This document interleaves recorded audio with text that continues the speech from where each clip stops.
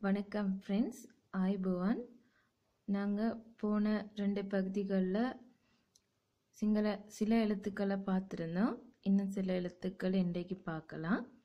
இறுதியாக நாங்கள் ஏன்னா எப்படி எழுதுறதுன்னு சொல்லி பார்த்துருந்தோம். இன்றைக்கு மிச்ச எழுத்துக்களை பாருங்கள் ஏன்னைக்கு பிறகு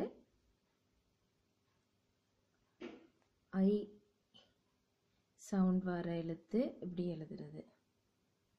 ஏன்ன மாதிரி தான். இது வந்து சிங்களத்தில் ஐ சவுண்ட் வர எழுத்து. தமிழ் ஐயன்னா மாதிரி. அப்புறம் அடுத்ததா ஒயா ஒயான்ன ஓ சவுண்ட் வர எழுத்து இது. அடுத்தது ஓ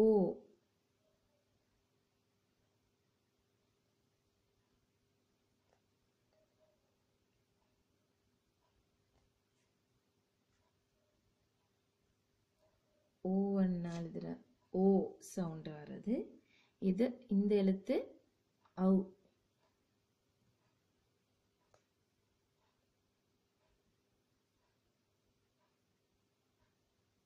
அதே மாதிரி ஓனை எழுதுகிற மாதிரி எழுதி பக்கத்தில் இப்படி ஒரு எழுத்து எழுதணும். அது வந்து அவு சவுண்ட் வர எழுத்து.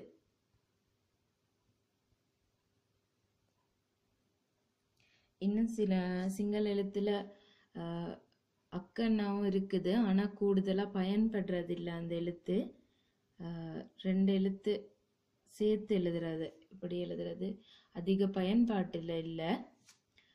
ஓகே ஃப்ரெண்ட்ஸ் பாருங்கள் இது ஐயன்னா ஓனா ஓ ஔ. மறுபடியும் ஒருக்கா எழுதுறேன் உங்களுக்காக பாருங்கள்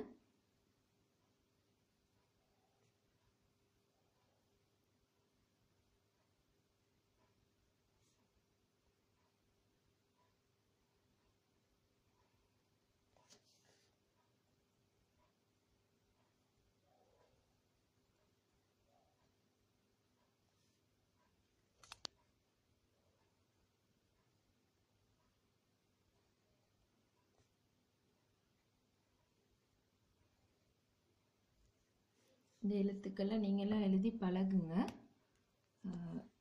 ஒரு மொழியை பழகும் போ எங்களோட பழக்கத்துக்கு ஏற்ற மாதிரி தான் ஒரு மொழி எங்களுக்கு இலகுவாக அமையுது. ஓகே ஃப்ரெண்ட்ஸ் பாருங்கள் இது சிங்களத்தில் இவ்வளவும் உயிர் எழுத்துக்கள். ஒருக்கா எழுதி பாருங்கள் நீங்களும். அடுத்த பகுதியில் மிச்ச எழுத்துக்களை பார்க்கலாம்.